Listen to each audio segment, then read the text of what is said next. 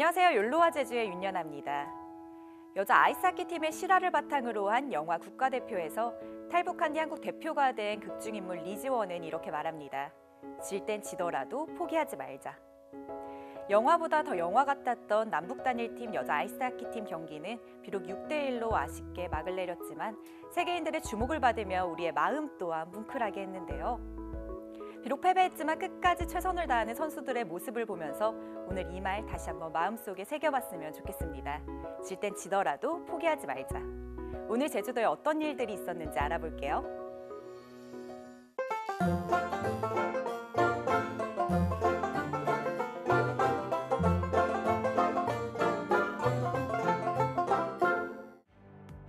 해발 700m 중산간 숲속입니다.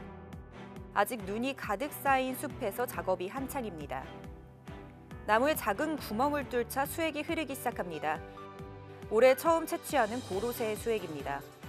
매달아 놓은 10리터 봉지에는 맑은 수액이 하루 만에 가득 찹니다. 이 숲 속에서 30년 이상 된 고로쇠 나무 500그루에서 채취 작업이 진행됩니다. 계속된 폭설과 한파의 채취 작업은 열흘가량 늦었지만 봄 기운에 얼어붙었던 대지와 나무가 빠르게 풀리고 있기 때문입니다. 제주에는 고로쇠 나무 150만 그루가 자생하는 것으로 추산됩니다. 땅으로부터 이제 빨아들인 수분을 이제 얼었다가 이제 햇빛을 맞으면 그게 녹는 현상처럼 해서 이제 외부로 배출하는 효과가 있습니다. 그래서 지금 시즌에 고로쇠 채취가 많이 이루어지고 있습니다. 봄의 시작을 알리는 매화도 꽃망울을 터뜨리기 시작했습니다. 겨우내 잔뜩 웅크렸던 매화가 고결한 자태를 뽐냅니다. 천리를 간다는 매화 향기는 향긋한 봄내음을 전합니다. 굉장히 한파에다가 많이 추웠는데 가족들이랑 이렇게 매화도 보면서 봄이 온 것처럼 느, 봄이 온 걸 많이 느끼면서 가족들이랑 즐거운 시간 보내서 굉장히 어, 좋은 것 같습니다.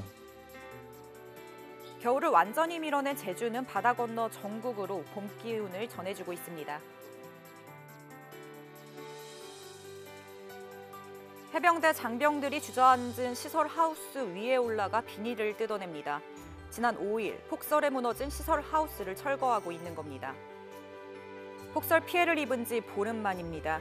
쓰러진 시설물에서 나무 한 그루라도 더 살려보려는 농심은 애가 탑니다.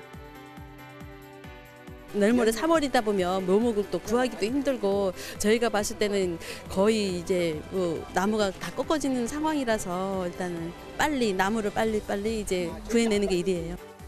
서귀포시는 예비비 8억 1천만 원을 투입해 다음 달 말까지 파손된 시설 하우스를 모두 철거할 계획입니다.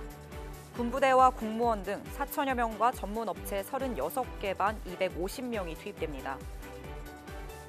이번 폭설로 하우스 피해를 입은 농가는 서귀포시에만 87곳, 피해 면적은 18만 5천여 제곱미터나 됩니다. 하지만 이 중 재해보험에 가입한 농가는 19곳, 전체 21%에 불과합니다.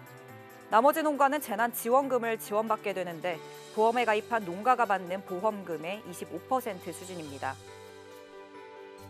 예, 앞으로 이 피해 농가에 대해서 농어촌 기금 융자라든가 그리고 지, 특별히 지원할 수 있는 대책 그리고 또 FTA에서 가점을 받을 수 있는 그런 정책을 모색해 나가겠습니다.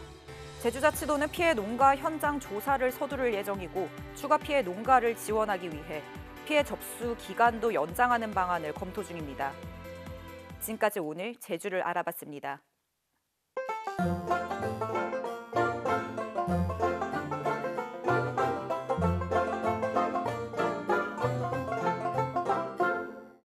저는 지금 대형마트에 나와 있습니다. 지금 사람이 굉장히 많은데 어, 최근 제주도의 시세와 여러 가지 물품을 보기 위해서 또 제가 장을 보기 위해 제주도에 있는 큰 대형마트를 함께 구경해 봅시다. Let's go! 여기 보면은 제주도 대형마트는 이렇게 제주도의 특산품을 파는 코너가 따로 있어요. 그래서 과질, 과즙이랑 시장에서 팔 수 있는 헉, 여기 하르방도 있어요. 다양한 제주도의 특산품을 팔고 있는 코너입니다. 가족 단위의 소비자분들이 굉장히 많은 걸 알 수 있어요. 저는 먹을 게 필요하기 때문에 음식물이 있는 밑에 층 코너로 내려갈 예정입니다. 그래서 마트에서는 안 파는 게 없네요.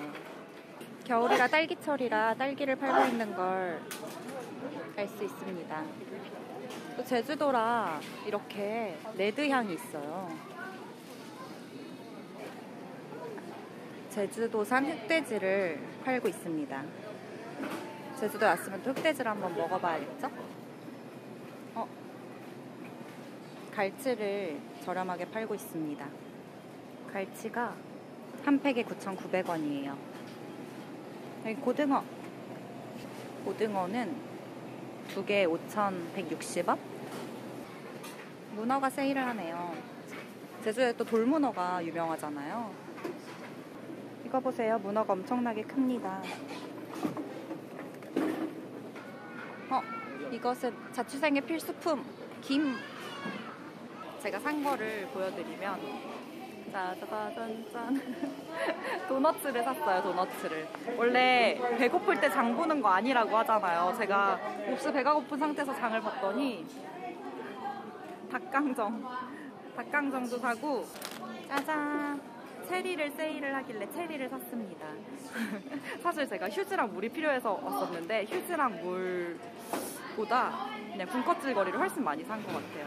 어, 제주도 마트를 구경, 대형 마트를 구경을 하니까 확실히 특산품도 많이 팔고 있고 제주산 흑돼지 그리고 제주산 갈치 이렇게 제주도에서 찾을 수 있는 엄청 맛있는 유명한 제주도의 특산품들을 좀 저렴한 가격에 팔고 있는 것 같아요.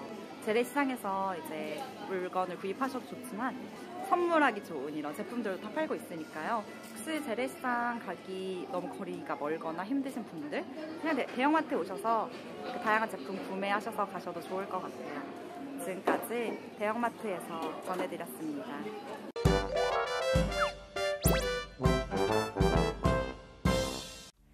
눈이 녹아서 비가 내린다는 절기인 우수가 지나며 제주 지역 낮 동안은 포근한 날씨 유지되고 있지만 최근 들어 낮과 밤의 기온차가 큰 날씨 이어지면서 건강 관리에 유의하셔야겠습니다.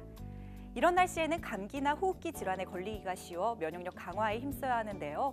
규칙적인 식사를 하고 몸을 따뜻하게 해주는 음식을 먹는 게 좋다고 합니다.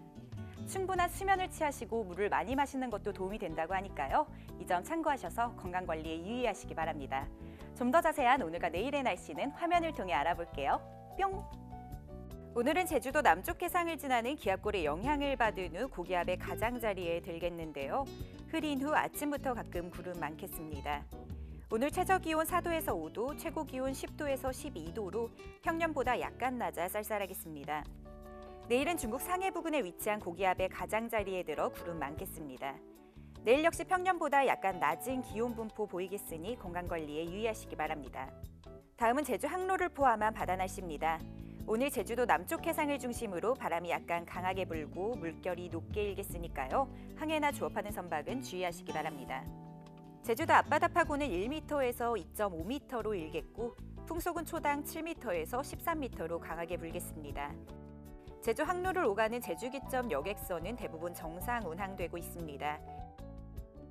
내일 오전엔 해상 곳곳에 비가 내리는 곳 있겠는데요. 내리는 비는 오후에 대부분 그치겠지만 부분적으로 바람이 강하게 불고 물결이 높게 이는 곳 있겠으니 안전에 주의를 기울여 주시기 바랍니다.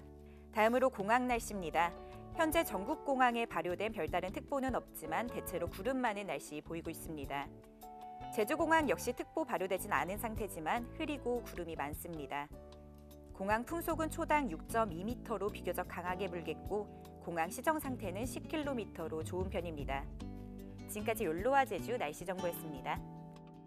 임신 출산부터 육아 교육까지 우리 아이를 위한 현명한 선택 행복한 제주 베이비 페어 2월 22일부터 25일까지 단 4일 한라대 컨벤션 센터에서 엄마 아빠들을 기다립니다 행복한 제주 베이비 페어에서 드리는 혜택 푸짐한 경품과 이벤트로 더욱 풍성하고 알찬 전시 행복한 제주 베이비 페어에 여러분을 초대합니다.